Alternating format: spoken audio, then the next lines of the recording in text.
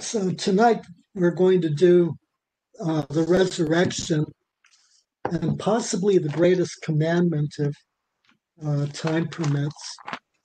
So why don't we begin by reading um, Matthew? Let's read both sections just in case we get through them. So Matthew chapter 22, verse 35 through 22, verse 40.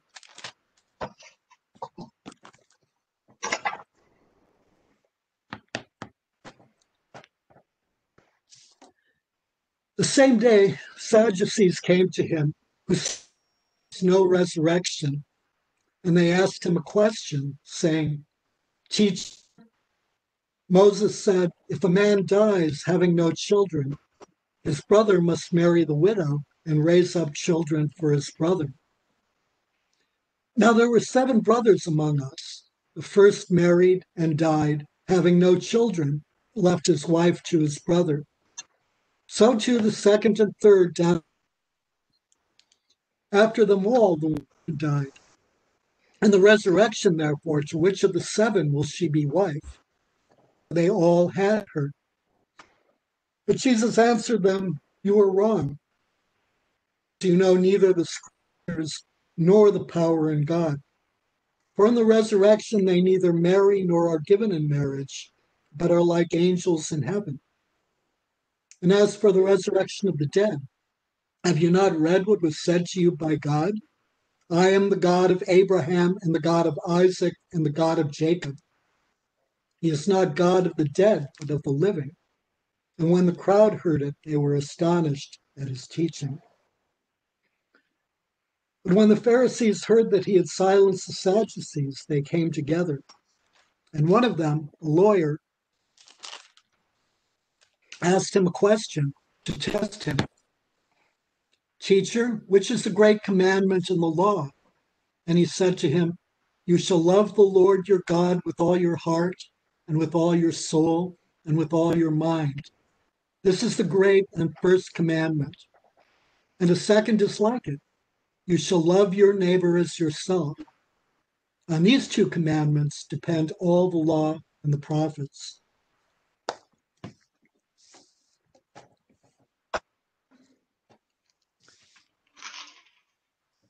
So, this is the second test of Jesus. The first one, remember, was by the Pharisees and the Herodians, which we discussed last week. And uh,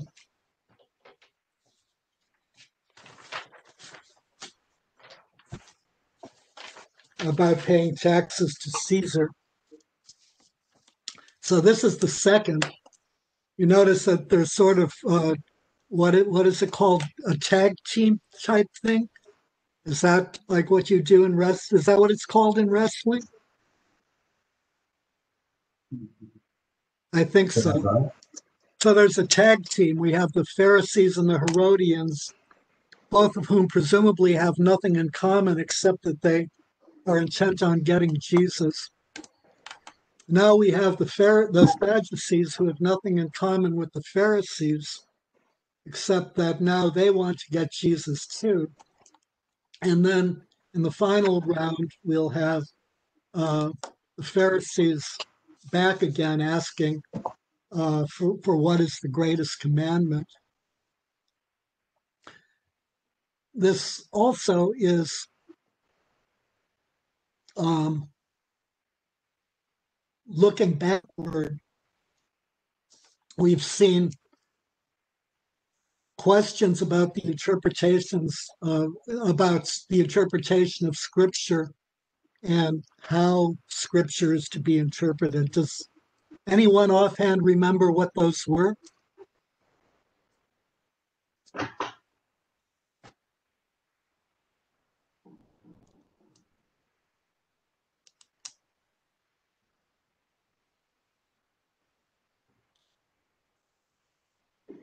Let's start with the temptation in the wilderness. Remember, the devil Mm. quotes scripture. Mm-hmm. He just happens to quote the wrong scripture. Any, any, anything else?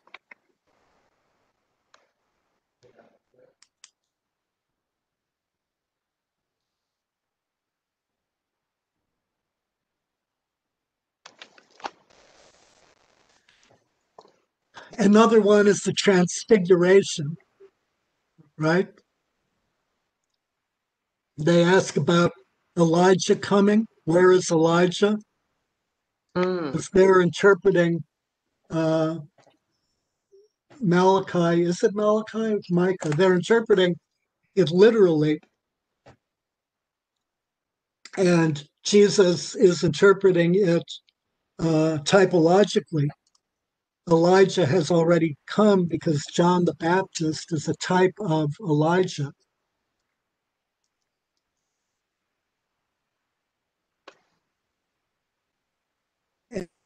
Anything else?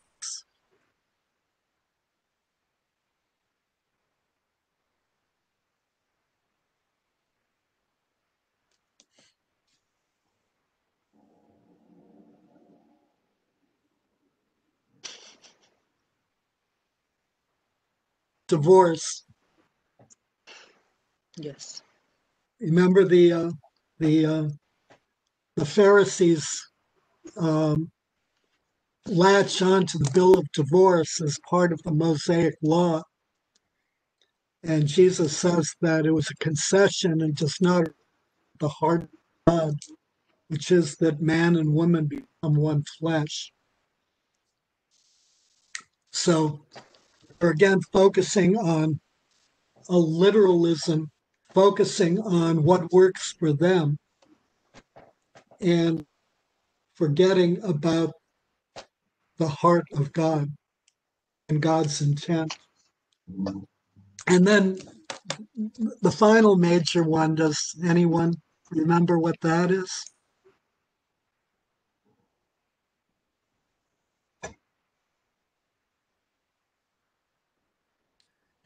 The demand for a sign. Remember, the, the, the Pharisees are viewing um, all of the imagery of the day of the Lord very literally. So they're viewing the the sun darkening or the moon darkening or the sun falling. They're they're viewing all of those things as literal signs that have to come for the the day of the Lord to be present. And they're not present implicitly. It's Jesus isn't the Messiah and it's not the day of the Lord. But then problem is that those are symbols. The real sign is that the the um, Messiah comes in a pure great idolatry, which is them. They're idolaters and they're the sign.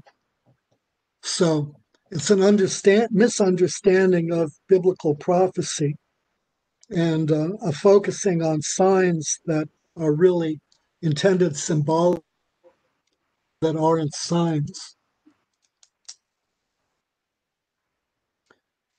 So the next three conflicts this one about the resurrection, the next one about the greatest commandment, and then uh, the final one about um, uh, or David's offspring, and uh, the Lord said to my Lord, are all all center on the interpretation of Scripture. So we'll see how how uh, Jesus does that. So the Sadducees uh, predominantly uh, a religious movement supported by the wealthy and powerful with very little popular support. So they include uh, many of the members of the Sanhedrin. They include the leading priestly families. They're really the people who control the temple establishment. Um, and they're theologically very just different from from the Pharisees. So the Pharisees believe in an oral tradition that subs that that supplements the uh, the uh, the Hebrew scriptures. The Sadducees don't, and not only they do they direct do, do they reject oral tradition, but they believe really only in the Torah. So five books of Moses are really the sum total of their Bible. So they reject the prophets. And then they reject, therefore, the supernatural, and they reject the existence of angels, although they're in the Torah. Not quite sure how they managed to do that. So, are there any any questions?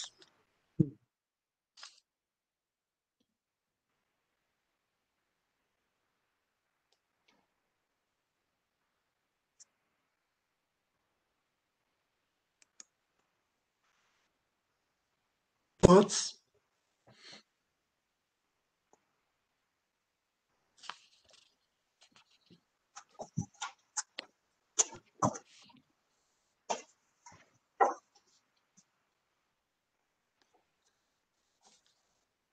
So then the debate is about the resurrection, resurrected, uh, resurrection of the dead.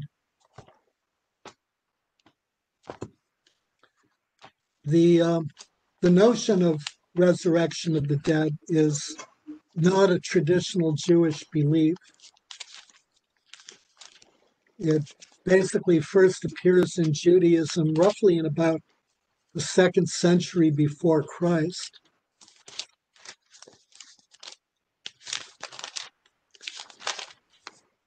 And uh, it appears in Daniel.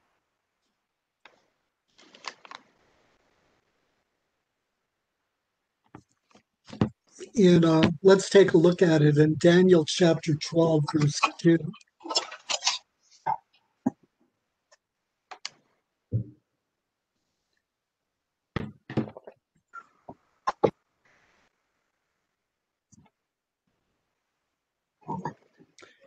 At that time shall arise Michael, the great prince who has charge of your people. And there shall be a time trouble such as never has been since there was a nation till that time. But at that time your people shall be delivered, every one whose name be found in, in the book. Any of those who sleep in the dust of the earth shall awake, everlasting life, and some to shame and everlasting contempt. So, so, so from the second century BC on, the uh, excuse me, second century, the um, the idea of a, of a resurrection of the dead and increasingly in Judaism and uh, and especially in connection with the Maccabean martyrs. So the the there are all sorts of references resurrection with the the, the Maccabean martyrs in in uh, the books of Maccabees. So the Pharisees accepted the resurrection and believed the resurrection, and the Sadducees did not, which in a famous encounter Paul used to his advantage.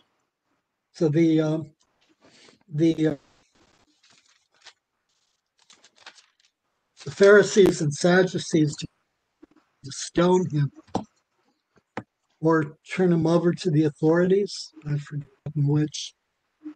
And, and he used the, the resurrection as the issue of the resurrection as a a uh, point of contention to divide them, which allowed him to uh, escape unscathed.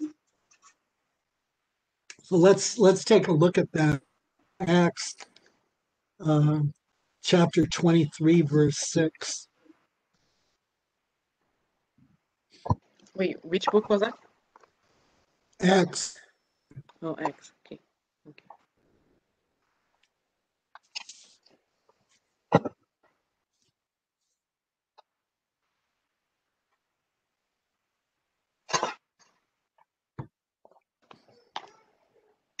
Very sticky.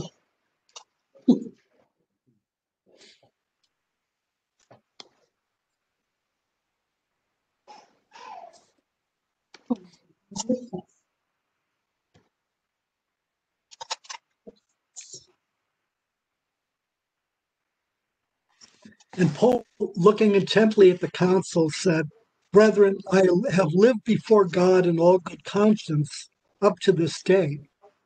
And the high priest, Ananias commanded those who stood by him to strike him on the mouth. Then Paul said to him, God shall strike you, you whitewashed wall. We'll see in the next chapter that Jesus calls the religious establishment whitewashed. Are you sitting to judge me according to the law? And yet, contrary to law, you order me to be struck. Those who stood by said, Would you revile God's high priest? And Paul said, I did not know, brethren, that he was the high priest.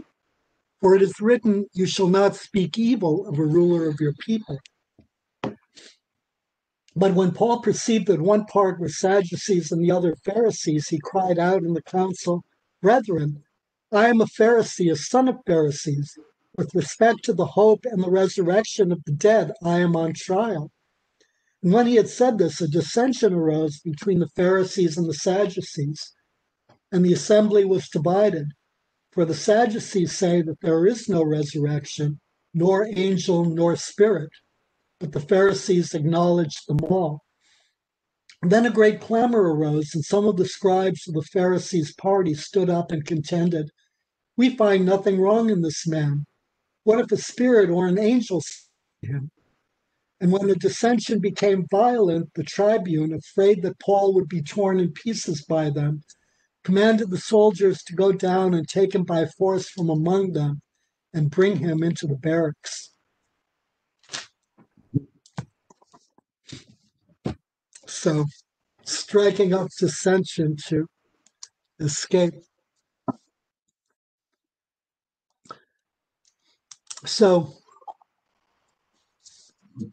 the uh, so no resurrection. So that meant that all of the dead simply went to Sheol, which is really not so much hell as just the place where all the dead go. And so they believe that immortality is achieved by uh, your reputation and by what you pass on to posterity. So immortality is not gained through survival and resurrection.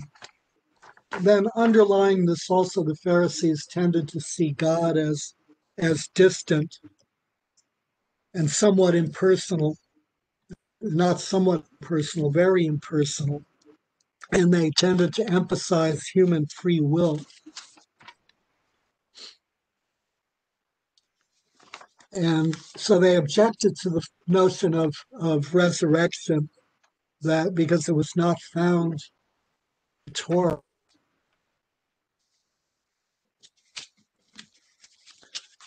So you notice that there's a certain irony here that the Pharisees object to resurrection and don't believe in resurrection, and yet they're just they're about to bring about Jesus' own death and resurrection.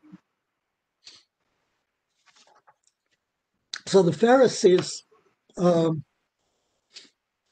believed in the resurrection, but they saw the resurrection and the kingdom of God as basically a simple return to present physical conditions. So when we're resurrected, just come back to the way we were. Life will be basically the same, except that it'll have the good stuff and none of the bad stuff and suffering. But otherwise, it's the same. And then for the Pharisees, uh, Sadducees, rather, the Pharisaic view was really regarded as a caricature and a joke.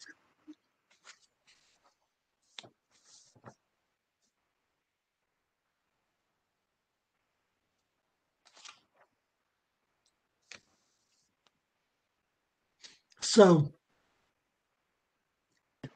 does everyone understand the thing about the uh, the wife marrying and her husband dying childless? So she marries the husband of the brother. And does everyone understand how that works? What it it's called? Uh, it's called levirate marriage. Does everyone understand why that is? Ron, um, just a little, just before you go forward to that one, I am a little confused. Who believes in, re- in resurrection? This the Pharisees. Pha- believed in, Pharisees, and the yeah. Sadducees don't believe Don't. because it's not in the Torah. Okay. right? It's not in the Torah. Right, so they think it's grotesque and a caricature and a joke.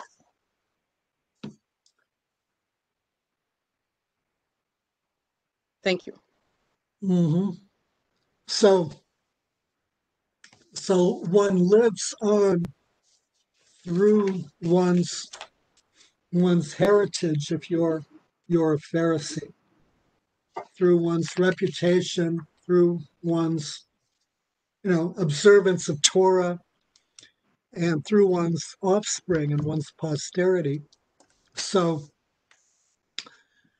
so if you're um, if you marry and don't have children and die, your line ends, right? And that means, you know, the end of all meaningfulness. That really, in some sense, means your death because you live on through your offspring. So, levirate marriage uh, provides a, a means for continuing a family line for a man who dies childless is that the second husband and the wife, the, the brother who marries the wife of the first husband has a baby, and that child is the child of the first. Right? Is that clear? I mean, the whole thing is not clear, but I guess we it. That's good, Chinese. Okay, so let, let's let's start over then. So one lives on through one's offspring. One doesn't want to die. Mhm. Nobody wants to die. And yet you recognize, you know, that you die at some point.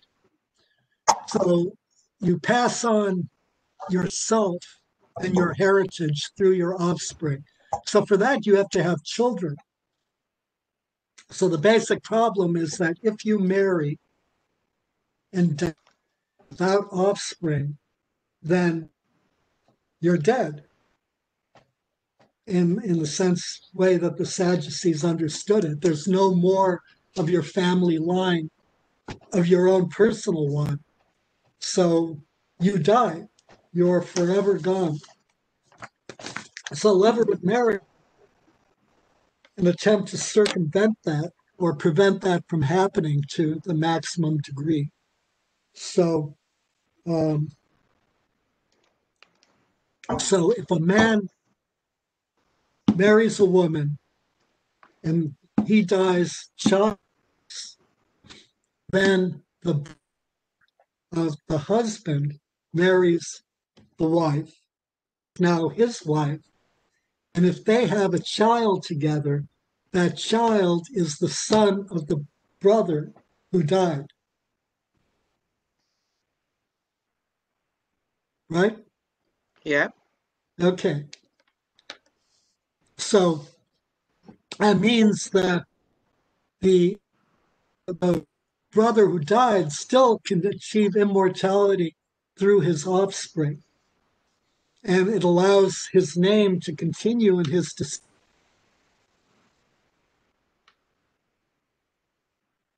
and and the children of the marriage also continue to bear the name of the dead husband. You know, so if the dead husband is Peter and the second husband is Paul, the first, the child born of the marriage will be uh, Ben Peter, born of Peter, not born of Paul. Ừ. Ừ, naming. Ừ, ừ. And so the Pharisees also argue that if there were a resurrection, then levirate marriage would not be found in uh, the Pentateuch. Actually, you know, I completely glossed over reading the, the statute about levirate marriage. So why don't we do that? It's probably actually best that we discuss what it was first.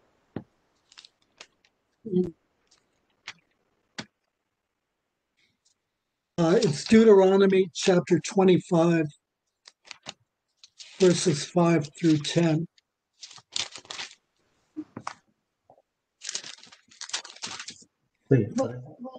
Is it um Deuteronomy chap Deuteronomy chapter 25 verses 5 through 10.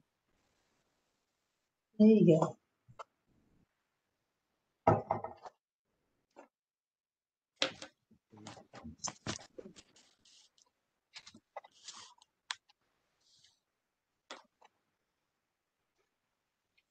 If brothers dwell together and one of them dies and has no son, the wife of the dead shall not be married outside the family to a stranger. Her husband's brother shall go into her and take her as his wife and perform the duty of a husband's brother to her. And the first son whom she bears shall succeed to the name of his brother who is dead, that his name may not be blotted out of Israel. And if the man does not wish to take his brother's wife, then his brother's wife shall go up to the gate to the elders and say, My husband's brother refuses to perpetuate his brother's name in Israel. He will not perform the duty of a husband's brother to me. Then the elders of his city shall call him and speak to him. And if he persists, saying, I do not wish to take her, then his brother's wife shall go up to him in the presence of the elders and pull his sandal off his foot and spit in his face.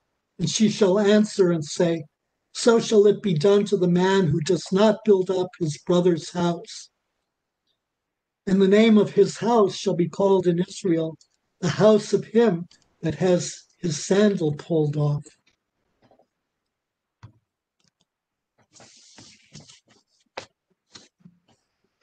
I mean, the sandal pulling off thing, what does that mean?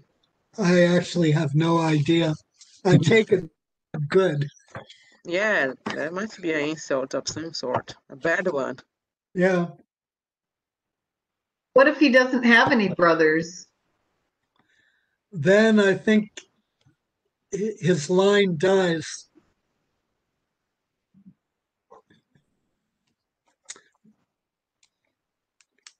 And actually, there are only two re- mentions of levirate. There were only only two mentions of attempted levirate marriage in the Old Testament. One in Genesis and one in the book of Ruth. And in both cases, the marriage is resisted.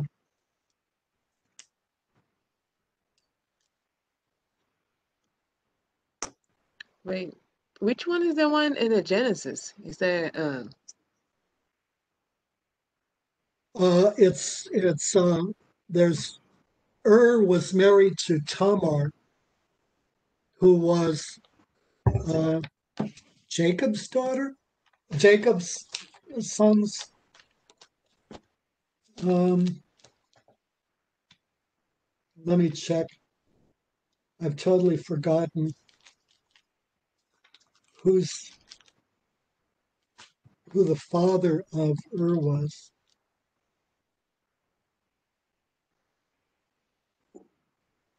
Oh, it's it's Judah. So remember Tamar tricks Judah into having sex with her. So this is so Judah's first son is Ur. Er and Ur died. And so Onan was supposed to marry Tamar and he refused. That prompted Tamar uh, you know, disguise herself and and uh, apparently be a prostitute, act as a prostitute, and entrap and entrap Judah. Hmm. So, But so I'm sorry. Go ahead. That is only in case of death, right? Like it's a if a person was like, you know, like Abraham was married and they, they couldn't have a children. They couldn't have children uh, for a long time. That Right. doesn't like your line is still gonna die. Yeah, your line is still going to die if you if line is going to die if you don't have any children and you don't have a brother. Okay. or you outlive your brother who then can't marry your wife. Or you die after your menopause. Or either you or your wife are infertile and whatever. Um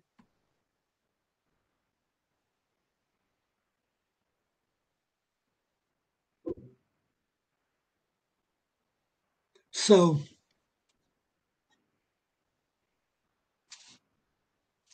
so the basic so although so the basic assumption here in in so are, are there questions about uh, levirate marriage?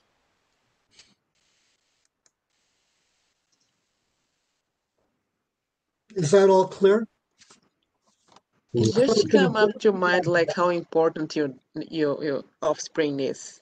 uh-huh Right. You know, It's like Right. it's very important. You're trying to keep it as much as you can. uh-huh Mhm. no offspring you're dead offspring Yeah. you're alive hmm Oh, it's you survive through your offspring What is it? Which in some ways has its good side that they they knew that you can't take it with you? What is it? You have bread. that shows a measure of wisdom so basically in in approaching jesus the the um, sadducees some of the assumptions as the pharisees so that if resurrection is possible although it's not possible but assuming you know for the sake of the argument that it is possible it would basically involve a miraculous return to the conditions and the relationships of our earthly life. So it'll be our earthly life over again, except that it'll be bigger and better, and it'll have only the most pleasurable aspects of life on earth. So if there were re- a resurrection, it would be the resurrection of, of the Pharisees. So given that, the resurrected woman has to resume her marital relationship, right? But with whom is she going to resume relationship given that she now has seven husbands?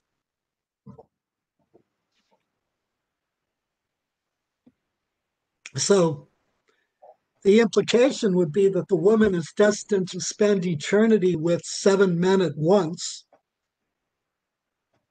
multiple husbands and one wife called polyandry. And uh, it's not acceptable in Jewish culture. And although it doesn't explicitly, nevertheless seems to violate the Torah. So the Sadducees have two goals here. One is that they want to, uh, so they know that Jesus believes in resurrection. So uh, the goal is to both expose the concept of resurrection as ridiculous and in getting him to answer the question about resurrection to make Jesus look completely foolish.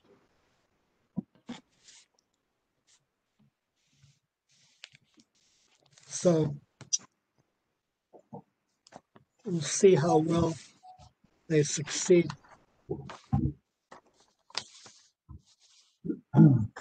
So they address Jesus as teacher.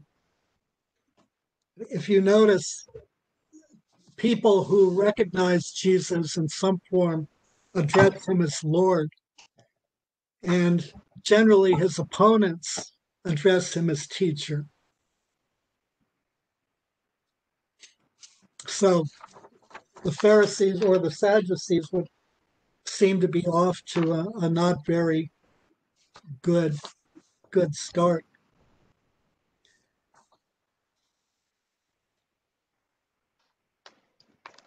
And so so they're basing their belief on the Pentateuch, on, on the Torah, on the five books of Moses. And so their hope is that uh, in continuing to stress the resurrection, Jesus is going to ignore or to reject the Pentateuch, or that he's going to incorrectly interpret the law on levirate marriage.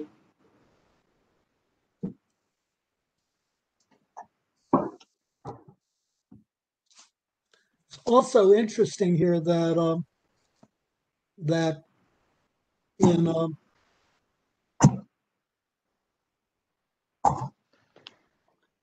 that the, the Pharisees speak of resurrection here um, using a, a word meaning to raise up rather than um,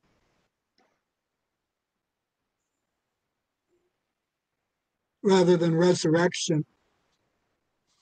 So it's a choice that reflects their, their belief that the production of an heir is the only resurrection supported by their theology. So, how does Jesus respond?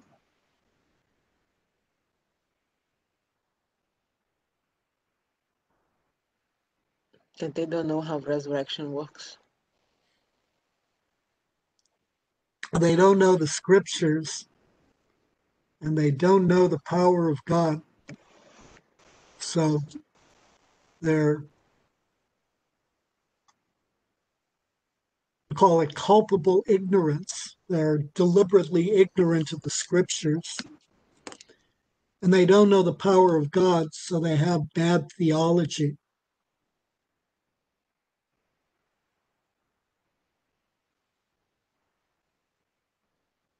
And then Jesus focuses on them in reverse order. So remember, Jesus frequently accuses his opponents of not understanding the scriptures or asks, Have you not read? And um, to support his notion of the resurrection, he reads from, he quotes Exodus chapter 3. Let's look at Exodus chapter 3.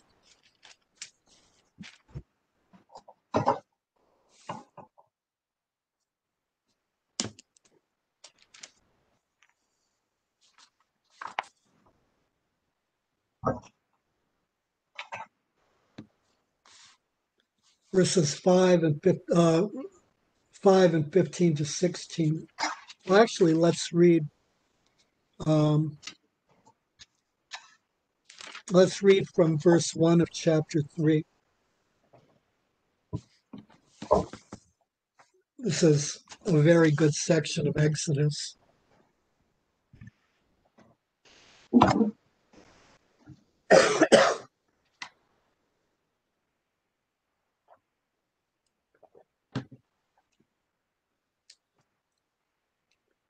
Now Moses was keeping the flock of his father-in-law Jethro, the priest of Midian, and he led his flock to the west side of the wilderness and came to Horeb, the mountain of God. And the angel of the Lord appeared to him in a flame of fire out of the midst of a bush. And he looked, and behold, the bush was burning, yet it was not consumed. And Moses said, I will turn aside and see this great sight, why the bush is not burnt. When the Lord saw that he turned aside to see, God called to him out of the bush, Moses, Moses. And he said, Here am I. Then he said, Do not come near. Put off your shoes from your feet, for the place on which you are standing is holy ground. And he said, I am the God of your father, the God of Abraham, the God of Isaac, and the God of Jacob. And Moses hid his face, for he was afraid to look at God.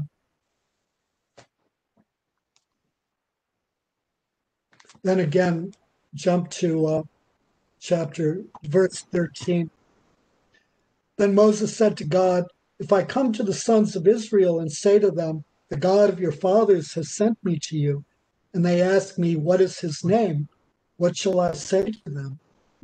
God said to Moses, I am who I am. And he said, Say this to the sons of Israel I am has sent me to you.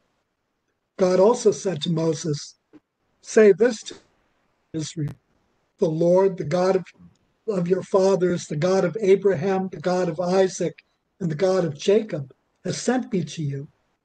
This is my name forever, and thus I am to be remembered throughout all generations.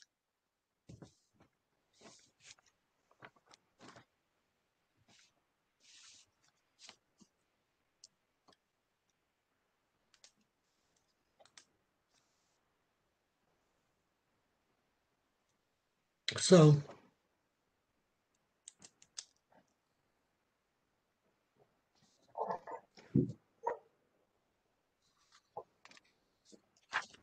how is that proof of the res? Well, first of all, well, okay, how is that proof of the resurrection?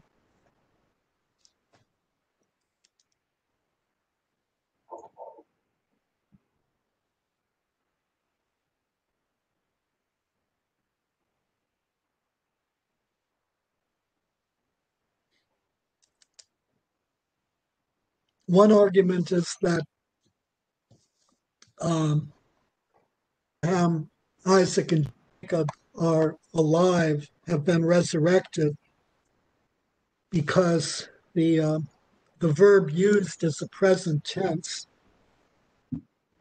But the problem is that in the Masoretic text, there's no verb, and so the sentence actually has no no explicit tense.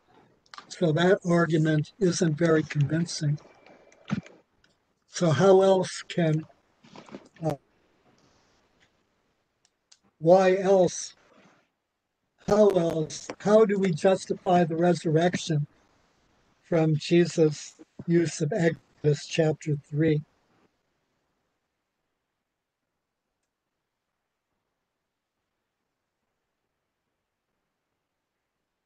Is any, any idea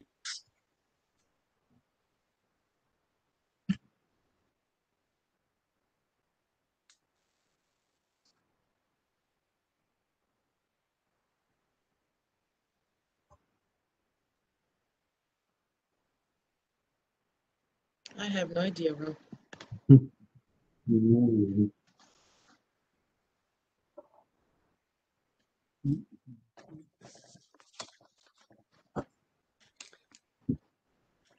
Okay, so in that passage, how does God first identify himself?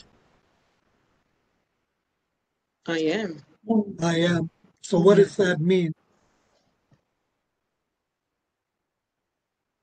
That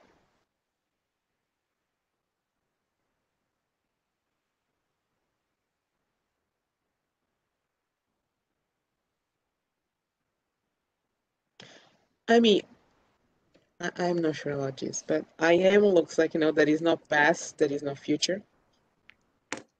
Is there like I am that is like, I don't know how to explain that.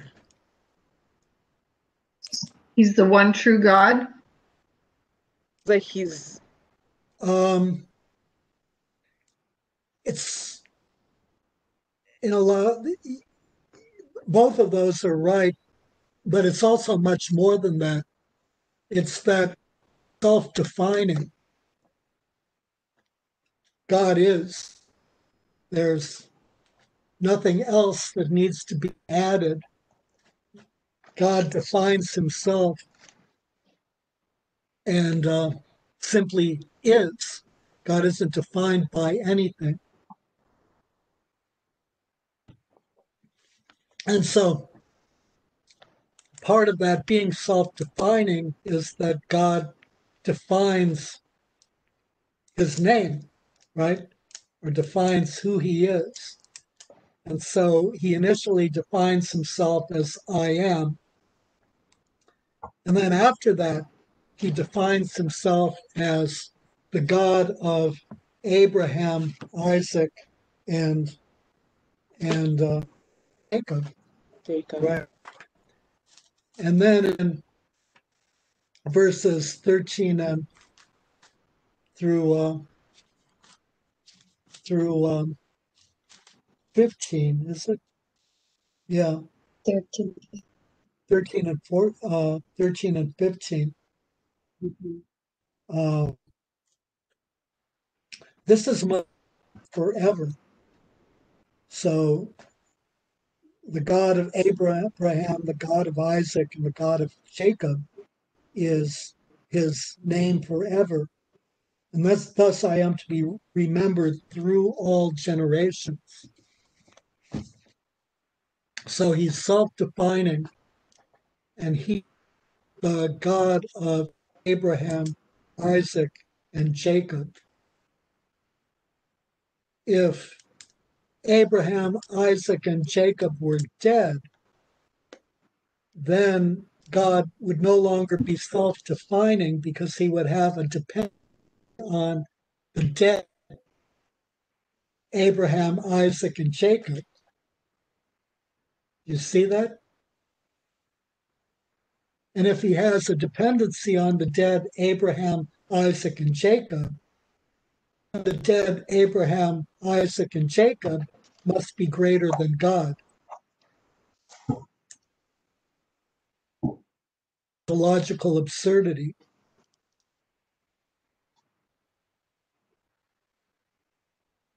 Is that is that clear? Is, is that murky?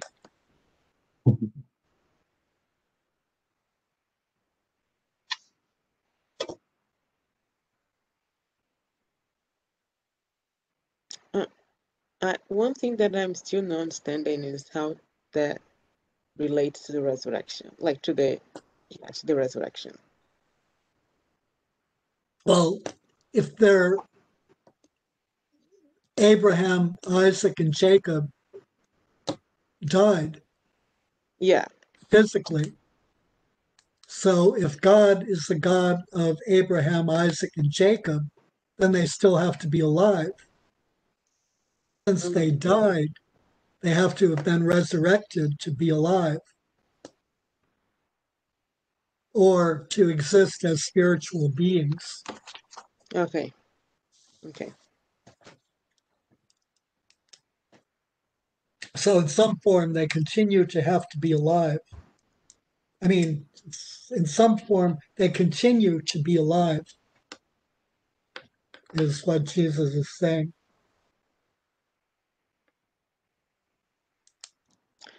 But then you also said that in the language you don't have the tense.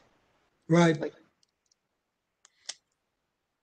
Right. So that's just simply the, the, the a really common argument is that so the the uh, th- this is kind of in some sense th- this is somewhat obscure. I mean, in, in the sense that um, at least especially for us, how Jesus sees proof of the resurrection in Exodus chapter 3 is not immediately clear. So, one of the most common arguments is that he's basing his argument as, of, of proof of the resurrection on the tense of the uh, sentence I am, am the God, present tense of Abraham, Isaac, and Jacob.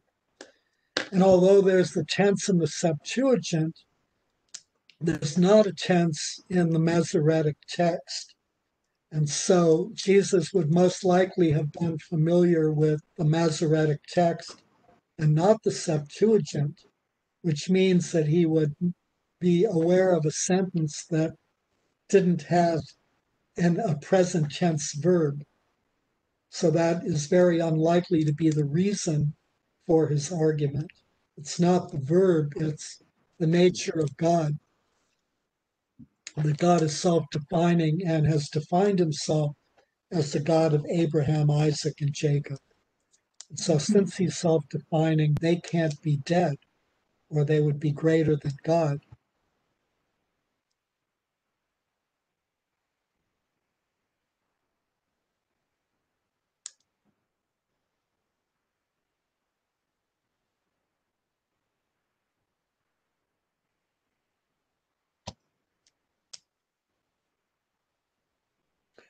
Also, notice the God of Abraham, Isaac, and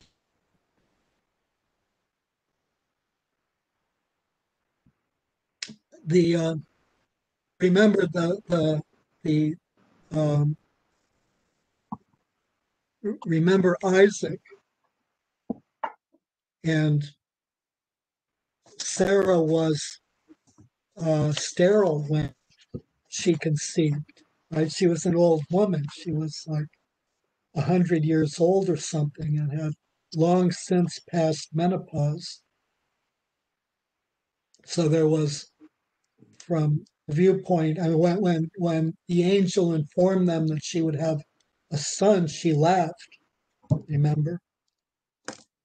So that all hints at Jesus' second point, which he does first before the, the scriptures, that they don't understand the power of God, that a woman who, or a man and a woman who are dead in terms of not having a child, nevertheless had a child.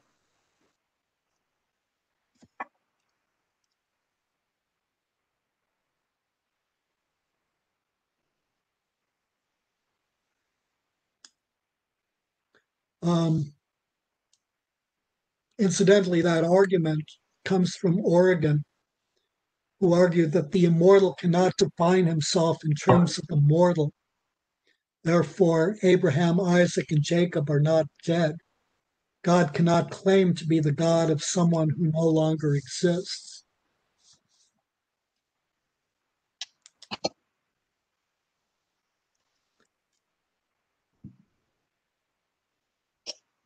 Then there's also one additional argument that is compelling.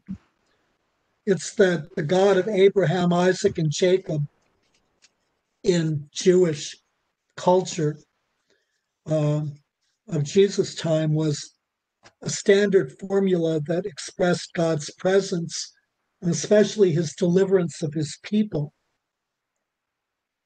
So, since God can't but deliver his people completely, since he can't deliver his people partially, that has to mean that he does so in death as well as in life. So if the God of Abraham, Isaac, and Jacob is a formula for God's deliverance of his people, then Abraham, Isaac, and Jacob must be delivered. And if you're dead. And if they're dead, God hasn't delivered them, which would mean that God isn't a deliverer of his people, which is incomprehensible. So, yet another implication of what Jesus is saying.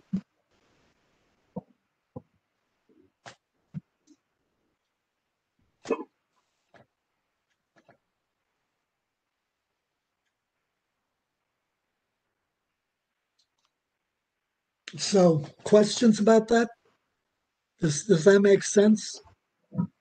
Is that clear? No? Little, help a little bit. Are there any questions about it?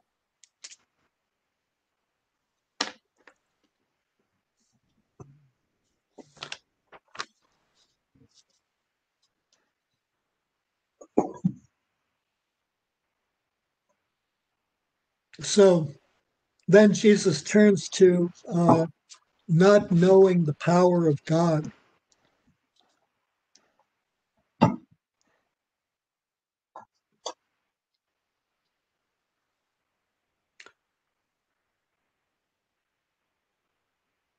So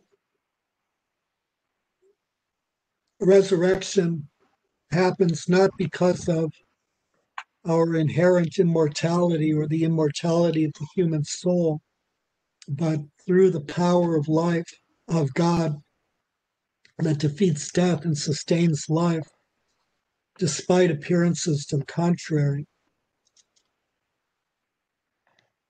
So the, power, the, the Pharisees assumed that resurrected life would be the same as existing life.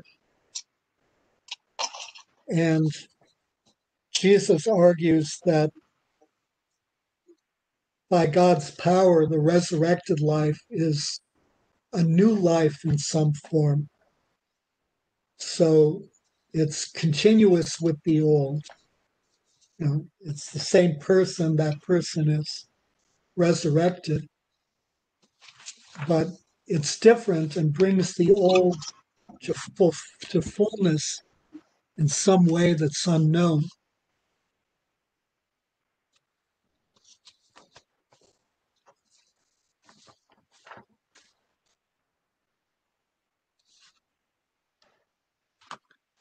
So the manifestation of that, in terms of the Pharisees' question, is that people don't marry.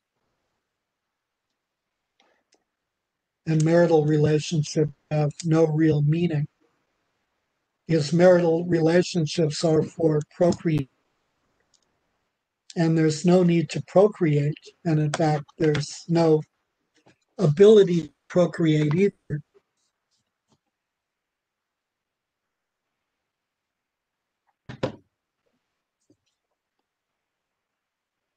Pharisees don't know scripture, they don't know the power of God. And they see God as fundamentally distant and inactive.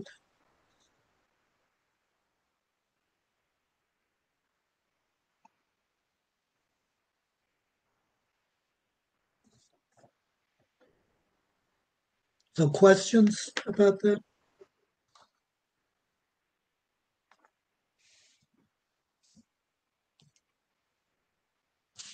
Yeah, that's that's interesting to um you know help us understand the like the image of uh, the image of what heaven is really. Mm, Yeah, it's like it's nothing compared to what we see on earth, right? It's Right. Well, there are two things like there's there's heaven, and then there's where we're uh, purely spiritual beings. And then there's the new heaven and the new earth after the second coming, where we have resurrected bodies, and and that will be, you know, that that's a we can kind of imagine what being purely spirit is like, but it's it's a mystery understanding what having a resurrected body will be like. It will be clearly very different, uh, and and in the resurrected place, everybody is going to be resurrected who is, you know, accepted.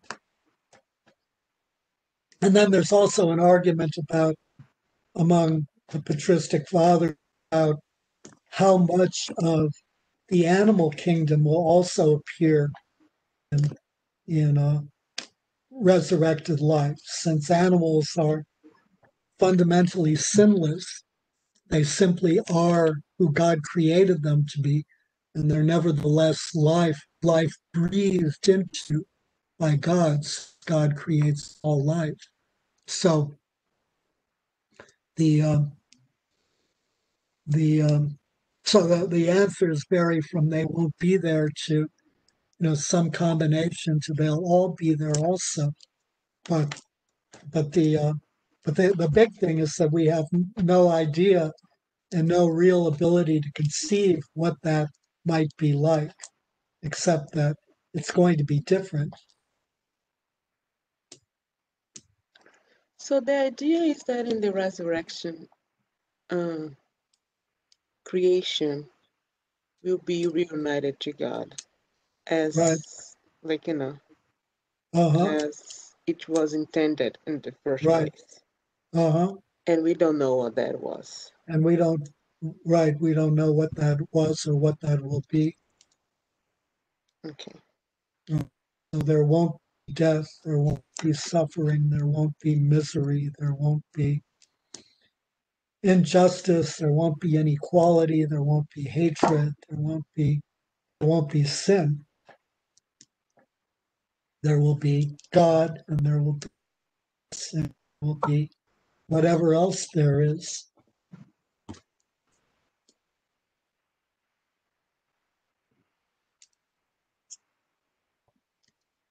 And it's a mystery. As well it should be.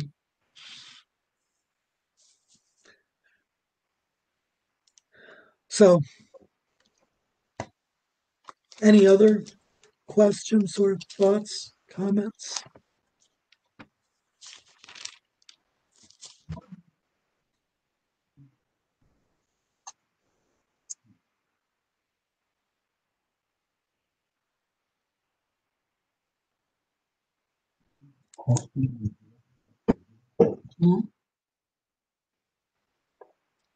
Um, so Jesus could have used other scriptures to make this somewhat easier, although they're all older. I mean, we, we read Daniel chapter 12, verse 2, uh, which was written late. The other uh, other scriptures that can be employed to point to the resurrection of the dead. All were interpreted in terms of of uh, the restoration of Israel or the regeneration of Israel, and then came to have a a uh, either a messianic or an eschatological meaning in the course of the, the two centuries before Christ, and then into Christian history.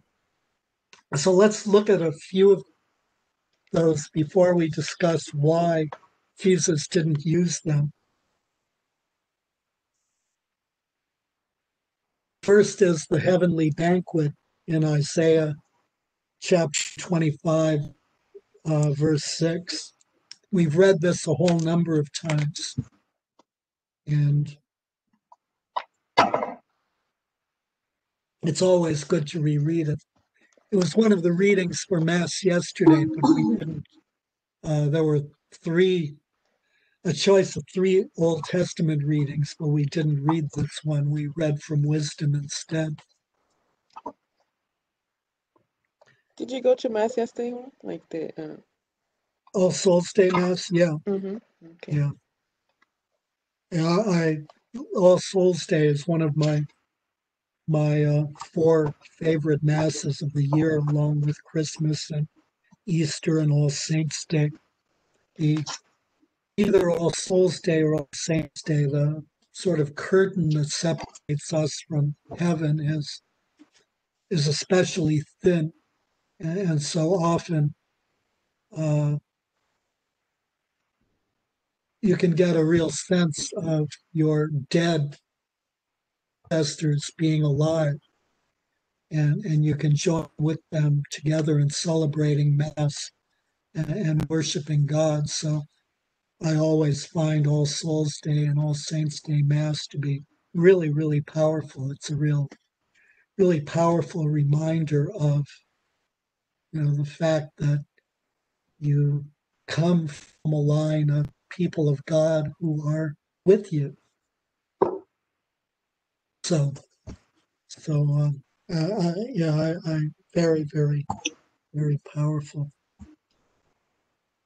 So, chapter 25, verse 6 On this mountain, the Lord of hosts will make for all peoples a feast of fat things, a feast of choice wines, fat things full of marrow, of choice wines well refined.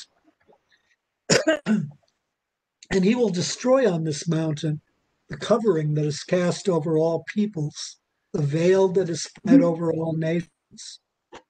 He will swallow up death forever and the Lord God will wipe away tears from all faces, and the reproach of his people he will take away from all the earth.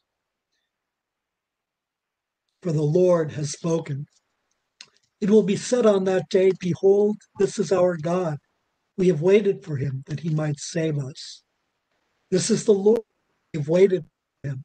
Let us be glad and rejoice in his salvation. So that's one verse. Another is Psalm 73, verses 24 and 25.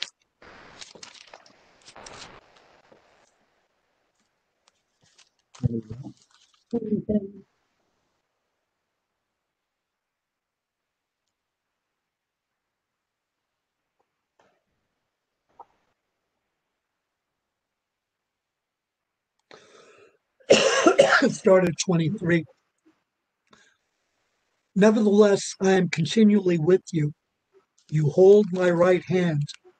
You guide me with your counsel, and afterward you will receive me to glory. Whom have I in you? And there is nothing upon earth that I desire besides you. So afterwards you will receive me to glory. The same theme is echoed in the 49th Psalm, um, verse 15. And then also, do, do you remember, does everyone remember or know the dry bones in Ezekiel? I vaguely remember that. Yeah, there that, that could also be used, although uh, the dry bones are a symbolic expression the restoration of Israel. So, with some other passages ready to hand that Jesus was aware of, why did he rely on Exodus?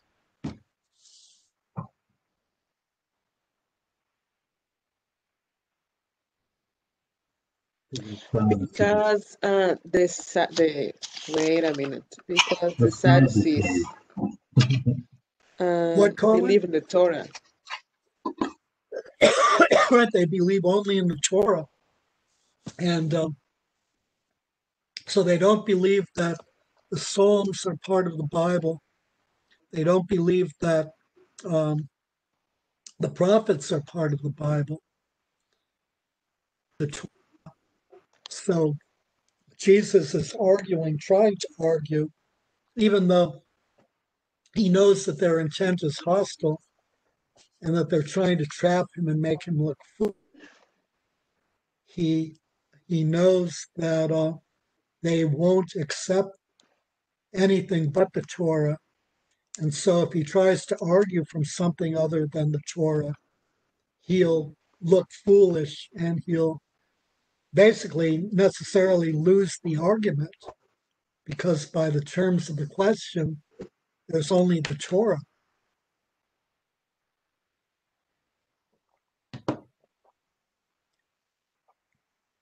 So it's a uh, a significant apologetical approach.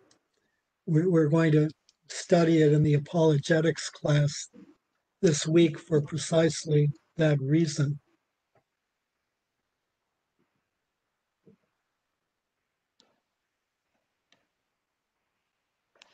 I think this was what Carmen wasn't this one of the two things we were studying this week? I can't remember. I read, I read your email, but I can't remember what, what the two things were. Uh, okay, one was the Good Samaritan. I think this was the second one.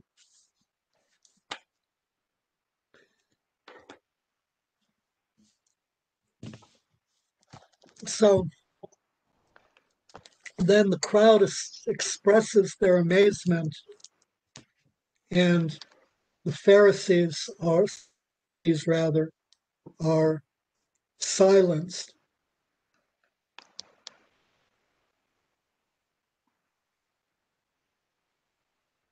the word actually used is muzzled, which indicates that it's not that they didn't say anything, but that they couldn't say anything because there was really nothing for them to say. They had been prompt, uh, uh, thoroughly routed. So they had intended very much like the Herodians and the uh, the Pharisees and the taxes to Caesar. They had had uh, thought they were going to ri- ridicule Jesus. The, their example, incidentally, is an absurd one with you know, seven husbands all dying, marrying one woman, and all dying childless. Um, so, you know, th- th- that itself is intended to poke, poke fun at him because this is an absurd example. Whole with resurrection is absurd. And and so they're going to make him look foolish and absurd and yet he manages to make them look absurd so this is round of uh, the sparring contest with jesus and, and round two of jesus victory. And the next one will be the greatest commandment